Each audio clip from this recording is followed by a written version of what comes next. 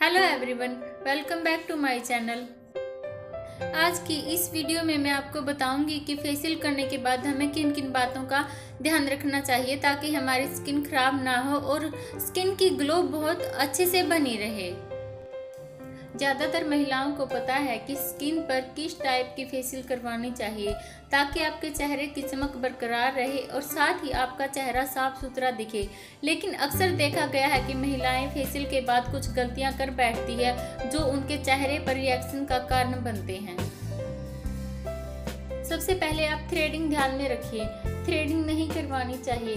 हाँ फेशियल करवाने के बाद थ्रेडिंग नहीं करवानी चाहिए। दरअसल फेशियल करवाने के बाद स्किन बहुत ही सॉफ्ट हो जाती है, जिससे थ्रेडिंग करवाते समय कट लगने के चांसेस ज़्यादा हो जाते हैं। इसलिए अगर आपको थ्रेडिंग और फेशियल दोनों चीज़ें करवानी है तो पहले थ्रेडिंग करवाएँ। फेशियल करवाने के बाद वैक्सिंग नहीं करवानी चाहिए। फेशियल करवाने के बाद आपकी स्किन बहुत ही कोमल सॉफ्ट और स्मूथ हो जाती है, इसलिए स्किन पर वैक्सिंग नहीं करवानी चाहिए। फेशियल के बाद वैक्सिंग करवाने से त्वचा छिल सकती है तो वैक्सिंग नहीं करवानी चाहिए। फेशियल करवाने के चार घंटे तक साबुन से भूलकर भी मुँह नहीं धोना चाहिए। जो भी आपने फेशियल करवाया है, उसको सोखने में कम से कम चार घंटे लगते हैं।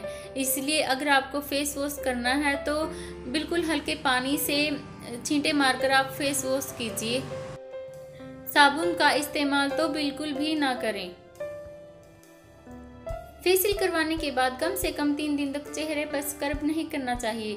फेशियल कराने के बाद वैसे ही आपकी स्किन सॉफ्ट और सेंसिटिव हो जाती है, जिसके बाद जल्दी जल्दी स्क्रब कराने से चेहरे पर दाने हो सकते हैं या चेहरा छिल सकता है।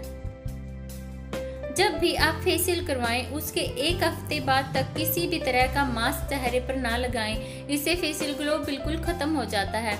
धूप में ना जाएँ। फेसियल करवाने के बाद चेहरे के सभी रोम छिदर खुल जाते हैं और पोर्स बड़े हो जाते हैं। चेहरे पर इसका रिएक्शन हो सकता है। अगर आपको बाहर जाना है तो फेस ढक कर जाए। अगर आपको हमारी ये वीडियो अच्छी लगी तो लाइक शेयर और सब्सक्राइब ज़रूर कीजिए। और साथ ही साथ बेल आइकन प्रेस कीजिए, ताकि आने वाली हमारी वीडियो सबसे पहले आपके पास पहुँच सके। थैंक्स फॉर वॉचिंग मिलते हैं नेक्स्ट वीडियो में।